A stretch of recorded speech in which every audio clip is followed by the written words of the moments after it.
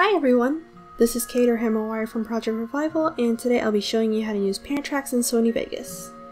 So first off, I just put all of my character parts into Sony Vegas and I put it from what I want to see on the top to the bottom.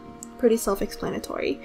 Um, so now I am clicking the little arrow um, right underneath the exclamation mark and this will make the top track the parent track and the parent track would control the movement, the overall movement of the character. Um, and I also made sure to make the um, top part of the head, which is the top hair, um, the the parent track for the whole entire head, so I can move the head whenever. So this is uh, where I'm showing you to do that, and usually I move around the rotation point so the head moves smoothly.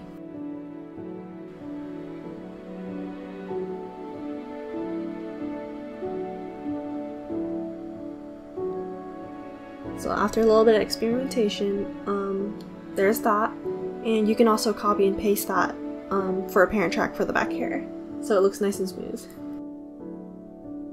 And for this part, if you want to do extra hair movement, you can go into pan crop and use the pan crop option rotation to move your hair, which I did do here.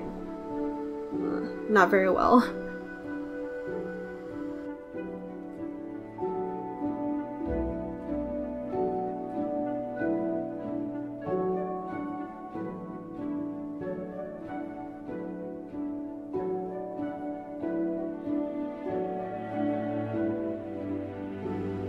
Alright, now that's all done, I'm going to put a background here.